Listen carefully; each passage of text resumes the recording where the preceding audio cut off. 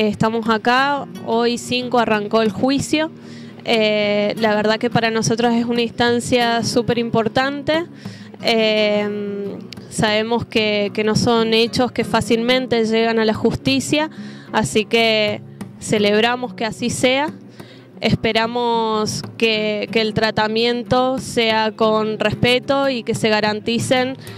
todas las instancias para que podamos llegar a condenas firmes eh, pero también a restitución de derechos. Sabemos que este juicio no es solamente eh, un acto de justicia para los sobrevivientes del Instituto Próbolo de Mendoza, sino que también lo es para los sobrevivientes del Instituto Próbolo de La Plata y del Instituto Próbolo de Verona.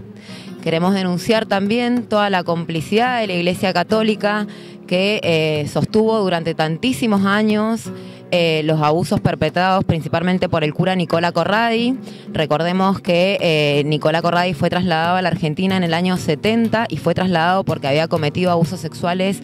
en el Instituto Próbolo de Verona. En el 70 fue trasladado a La Plata y allí permaneció más o menos hasta el 98, donde cometió los mismos crímenes y luego trasladado a Mendoza para seguir con este plan sistemático de abuso y silenciamiento de niños, niñas eh, y adolescentes sordos la iglesia también ha intervenido en la justicia a través de, abogados pagos, a través de la institución de la iglesia, eh, o a través de, instituciones más menores como de monjas y cuestiones así, que han ido pagando y sosteniendo eh, los juicios, o sea, los abogados para los juicios, que también ha sido nefasto y que también, por eso justamente se ve en cada paso, en este, en este caso es muy visible todo eso de cómo interrumpe y cómo irrumpe la iglesia o esta institución en el Estado, en la justicia, en nuestras vidas cotidianas. Recordemos que esta es la primera causa, pero también restan otras, eh, porque había mucha complicidad para que esta cadena de silencio siguiera permaneciendo todos los años eh, que duró.